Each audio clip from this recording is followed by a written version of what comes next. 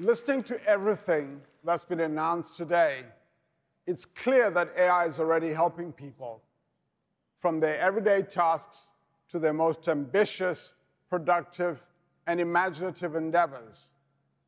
Our AI innovations like multimodality, long context, and agents are at the cutting edge of what this technology can do, taking to a whole new level its capacity to help people.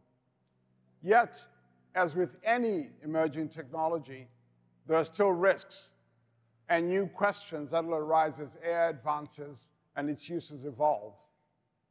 In navigating these complexities, we're guided by our AI principles, and we're learning from our users, partners, and our own research. To us, building AI responsibly means both addressing the risks and maximizing the benefits for people and society. Let me begin with what we're doing to address the risks. Here, I want to focus on how we are improving our models and protecting against their misuse. Beyond what Demis shared earlier, we're improving our models with an industry standard practice called red teaming, in which we test our own models and try to break them to identify weaknesses. Adding to this work, we're developing a cutting-edge technique we call AI-assisted red teaming. This draws on Google DeepMind's gaming breakthroughs like AlphaGo, where we train AI agents to compete against each other and improve and expand the scope of their red teaming capabilities. We're developing AI models with these capabilities to help address adversarial prompting and limit problematic outputs. We're also improving our models with feedback from two important groups, thousands of internal safety experts with a range of disciplines, and a range of independent experts from academia to civil society. Both groups help us identify emerging risks from cybersecurity threats to potentially dangerous capabilities in areas like chem bio.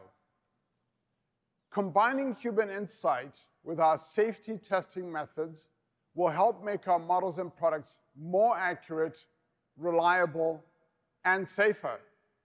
This is particularly important as technical advances like better intonation make interactions with AI feel and sound more human-like.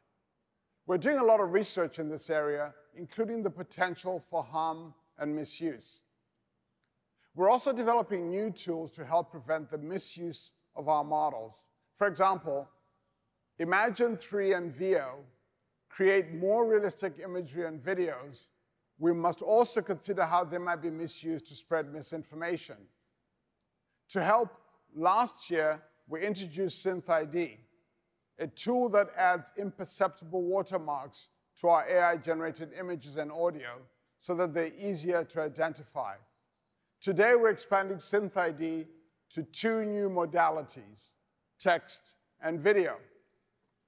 These launches build on our effort to deploy state-of-the-art watermarking capabilities across modalities. Moving forward, we'll keep integrating advances like watermarking and other emerging techniques to secure our latest generations of Gemini, Imagen, Lyria, and Veo models. We're also committed to working with the ecosystem with all of you to help others build on the advances we're making. And in the coming months, we'll be open sourcing SynthID text watermarking.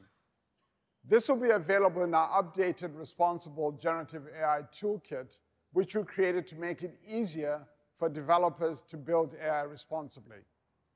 We're also collaborating with C2PA, and we support C2PA collaborating with Adobe, Microsoft, startups, and many others to build and implement standards that improve the transparency of digital media. Now, let's turn to the second and equally important part of our responsible AI approach, how we're building AI to benefit people and society. Today, our AI advances are helping to solve real-world problems like accelerating the work of 1.8 million scientists in 190 countries who are using AlphaFold to work on issues like neglected diseases, helping predict floods in more than 80 countries, and helping organizations like the United Nations track progress on the world's 17 Sustainable Development Goals with data commons. And now, generative AI is unlocking new ways for us to make the world's information and knowledge universally accessible and useful for learning. Billions of people already use Google products to learn every day. And generative AI is opening up new possibilities, allowing us to ask questions like, what if everyone, everywhere, could have their own personal AI tutor on any topic? Or, what if every educator could have their own assistant in the classroom? Today marks a new chapter for learning and education at Google. I'm excited to introduce LearnLM, our new family of models based on Gemini and fine-tuned for learning. LearnLM is grounded in educational research, making learning experiences more personal and engaging. And it's coming to the products you use every day, like Search, Android, Gemini, and YouTube. In fact, You've already seen LearnLM on stage today when it helps Sameer with his son's homework on Android. Now let's see how this works in the Gemini app. Earlier, Sissie introduced GEMS, custom versions of Gemini that can act as personal assistive experts on any topic. We're developing some pre-made gems, which will be available in the Gemini app and web experience, including one called Learning Coach. With Learning Coach, you can get step-by-step -step study guidance, along with helpful practice and memory techniques designed to build understanding rather than just give you the answer. Let's say you're a college student studying for an upcoming biology exam. If you need a tip to remember the formula for photosynthesis, Learning Coach can help. Learning Coach, along with other pre-made gems, will launch in Gemini in the coming months. And you can imagine what features like Gemini Live can unlock for learning. Another example is a new feature in YouTube that uses LearnLM to make educational videos more interactive, allowing you to ask a clarifying question, get a helpful explanation, or take a quiz. This even works for those long lectures or seminars, thanks to Gemini model's long context capabilities. This feature in YouTube is already, is already rolling out to select Android users. As we work to extend LearnLM beyond our own products, we're partnering with experts and institutions like Columbia Teachers College, Arizona State University, and Khan Academy to test and improve the new capabilities in our models for learning. And we've collaborated with MIT RAISE to develop an online course to help educators better understand and use generative AI.